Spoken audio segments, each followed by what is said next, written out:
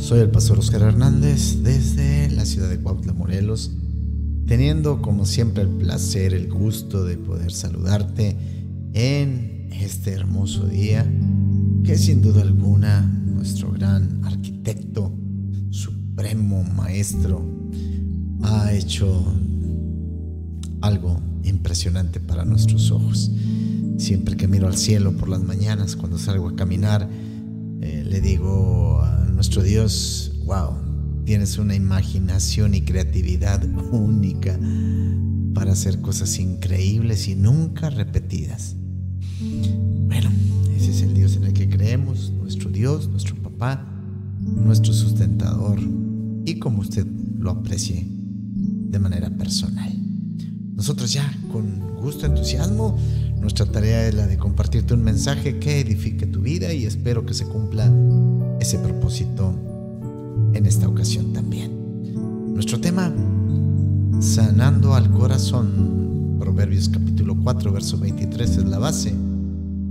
Por sobre todas las cosas cuida tu corazón porque de él mana la vida. Lo repito. Por sobre todas las cosas cuida tu corazón porque de él mana la vida. Quizás te preguntas si sanar es realmente posible. Aunque sea sanación física, espiritual o emocional, todos estamos buscando desesperadamente alivio.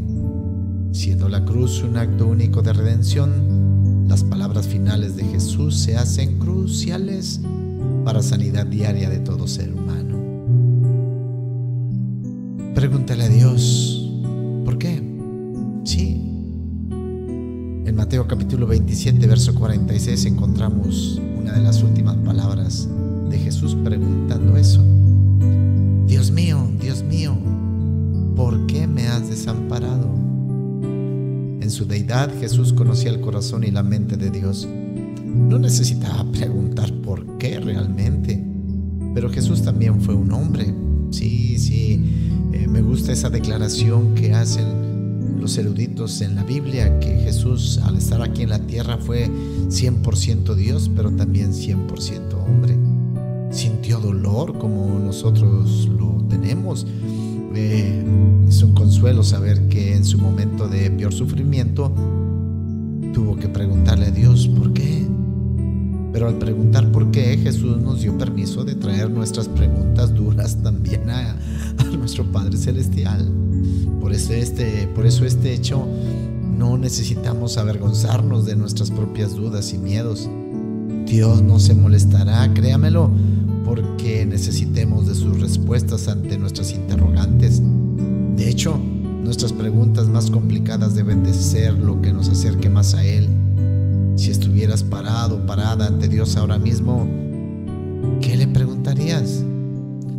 Satanás controla lo que mantenemos oculto, pero cuando sacamos nuestras heridas a la luz, Satanás ya no tiene poder sobre ellas.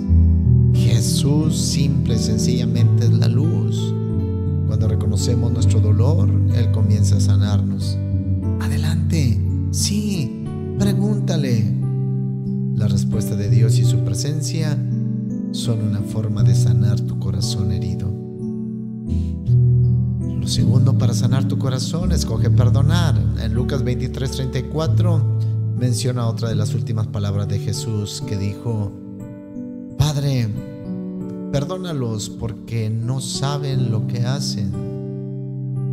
Mientras acercaban los clavos a sus manos, Jesús habló fuertemente, Padre, perdónales. Él se negó a que la amargura echara raíces Sospecho que nos enseñaba que mientras más pronto perdonemos, sí, muchísimo mejor. Quizás alguien que se suponía que te protegiera y te mantuviera seguro, segura, terminó hiriéndote. Abusó quizás de ti, destruyó tu seguridad. Puedes estar pensando, creo que es imposible perdonarlo. Tienes razón, sí, todos tenemos la razón. No creo que podamos perdonar en nuestra propia fortaleza. Necesitamos pedirle a Dios, nuestro Padre, que nos ayude. Saca a las personas de tu radar y ponlos en el radar de Dios. Sí, me estoy refiriendo a esas personas que necesitas perdonar. De esa manera te estarás liberando. Consejo más para sanar nuestras heridas en el corazón, comparte del Evangelio. Lucas 23:43 nos da estas palabras de Jesús. Te aseguro que hoy estarás conmigo en el paraíso, le contestó Jesús al malhechor. Uno de ellos, colgados al lado de Jesús en la cruz, entendió que su pecado era quejarse de sus problemas y Jesús era su única esperanza. Él dijo, Jesús, recuérdame cuando, cuando entres a tu reino. Y Jesús respondió, haré más que recordarte, te llevaré conmigo. Mientras moría, Jesús, qué hermoso, aún tenía la intención de salvar a otros. Él nos modeló para ayudar a otros en medio de su propio sufrimiento. Tu dolor te da el derecho de ser escuchado. Cuando compartes el Evangelio, tu dolor, tu dolor tiene propósito. Y por último, aconsejo, asegura tu espíritu para sanar tu corazón. En Lucas 23, 46 vemos una palabra final de Jesús que dijo, Padre, en tus manos encomiendo mi espíritu. Esta no es solo una frase que Jesús dijo porque estuviese muriendo. Él estaba citando una frase que los niños judíos repetían antes de irse a dormir, perteneciente a Salmos 31. Sí, enseñándonos a usarla a diario también. No puedo describir el alivio que me da saber que mi Padre está sosteniendo mi espíritu frágil en sus manos fuertes y también amorosas. Puedo comenzar a respirar otra vez. Puedo comenzar a pensar otra vez. Puedo dar un paso adelante y seguir moviéndome. Conclusiones. La próxima vez que Satanás te recuerde las heridas de tu pasado, intenta diciendo, Padre, venda mi herida te la doy para que la sostengas. Estás sano y salvo en las manos de tu Padre, recuérdalo. Él es el único que puede sanar tu corazón herido. Tener un corazón sano es una prioridad en aquel que sabe apreciar la vida. Toma la decisión de mantenerte sano. El perdonar es una decisión para que nuestro corazón esté libre de ese sarro que suele convertirse en odio y rencor. Un corazón sano está exento de enfermedades y desequilibrios que a la larga pueden causarle estragos en la vida. Decide guardar tu corazón. Reflexiona. Jesús es el modelo a seguir para mantener un corazón sano y libre de contaminación. ¿Cuál es el estado de tu corazón de manera física y emocional? En muchas ocasiones nuestro dolor terrenal es usado para bendecir a otras personas cuando les compartimos del amor de Dios. ¿Estás compartiendo de ese amor a la gente que te conoce? Un corazón sano ayudará a corazones enfermos a sanar. ¿Estás listo para ser instrumento de bendición? Espero que sí.